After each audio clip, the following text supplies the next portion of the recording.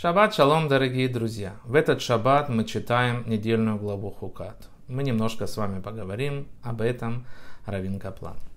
Посыпая пеплом красные коровы, люди, которые стали нечистыми, могли восстановить свою чистоту.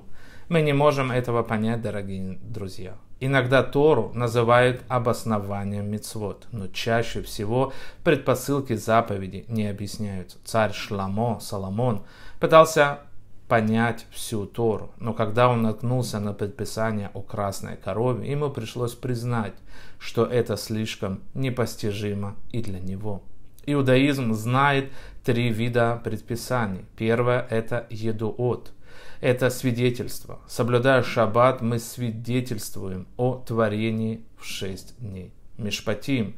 Это гражданские законы и социальные правила, которые поддерживает наше общество, дорогие друзья. Хуким. Это непонятные законы, значения которых не ясны и, по-видимому, включают в себя противоположности, которые нам сложно понять. Можем ли мы интерпретировать Тору в соответствии с мерками нашего человеческого понимания, дорогие друзья? Этот вопрос, который мы себе задаем. В древнееврейском языке есть одно и то же слово для вкуса и обоснования – таам. В общем, мы путаем термины «вкус» и «обоснование».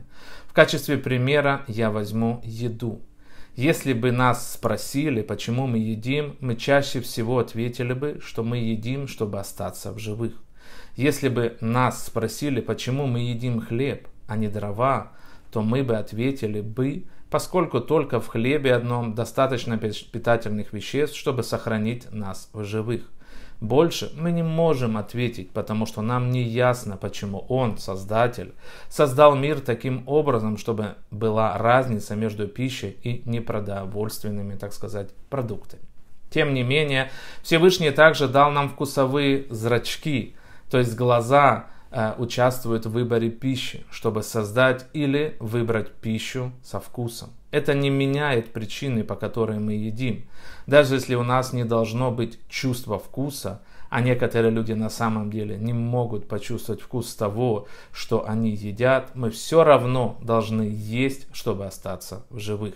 Если бы наши вкусовые зрачки полностью определили наш образ питания, нам могло бы быть плохо мы будем есть все нездоровые вещи. И это может угрожать нашему здоровью настолько, что мы умрем. Мицвод, заповеди – это наша духовная пища. Мы можем сравнить мицвод с нашей духовной пищей. Так же, как и тело, вот, и нешама нуждается в духовной пище. Мицвод и изучение Торы – это духовное меню для души. Почему и каким образом некая мецва духовно усиливает и укрепляет душу, мы, конечно же, не знаем. Чтобы сделать мецвод более приятными, Всевышний иногда дает нам обоснование или освещает фон этой мецвы.